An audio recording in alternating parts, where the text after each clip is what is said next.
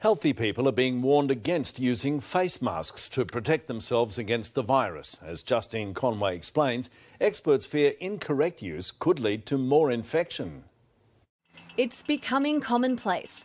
On the streets and in supermarkets, people are increasingly wearing face masks, just as a precaution wearing masks like that is wasting a mask. That's a mask that won't be available when it's actually needed. The state government's advice on wearing face masks is in line with the World Health Organization.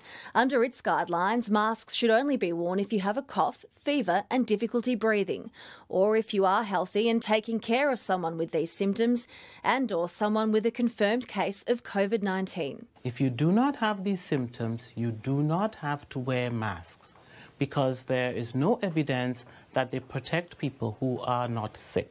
If you must wear one, a regular surgical mask is best. They're intended for single use only.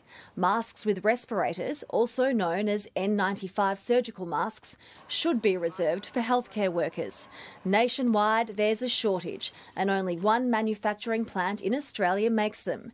This is Medcon in Shepparton. It's gone from producing 2 million masks a year to almost 2 million a week, exclusively for those frontline workers.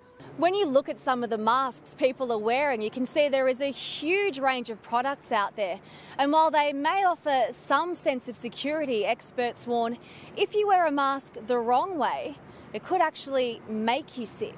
When I've been walking about, I've been seeing people touching the front of the masks, adjusting the masks on their face, and then going and touching other things. What we've got to remember is that front of the mask may be picking up different pathogens, and the same goes for gloves. What they also will stop is you actually washing your hands. Justine Conway, 9 News.